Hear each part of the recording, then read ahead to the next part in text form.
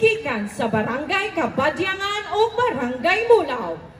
Kabamula Cultural Crew! Who's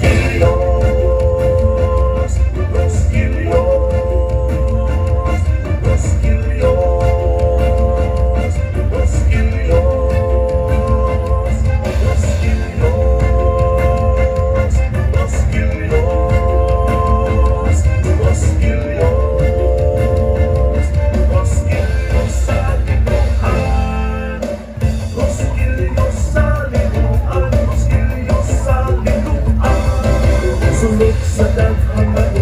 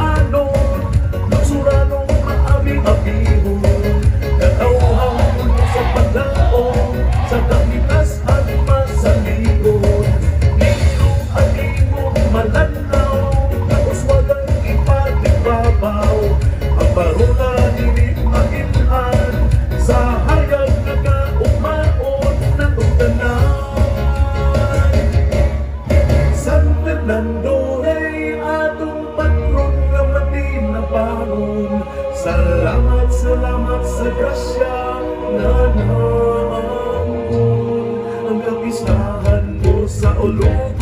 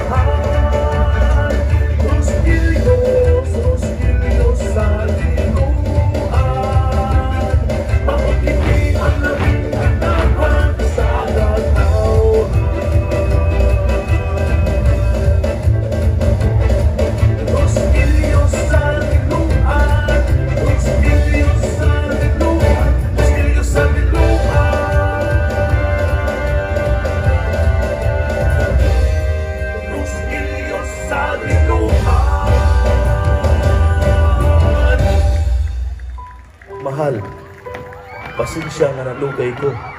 Nagsundo pamangkod ko atong mga apo. Pero aniya o, imong paborito nga Roskilios. Wa, jud ka malimot mahal no? Sa kadugay nas panahon, Roskilios jud imong pirming gasa nga paborito kay nako. I love you.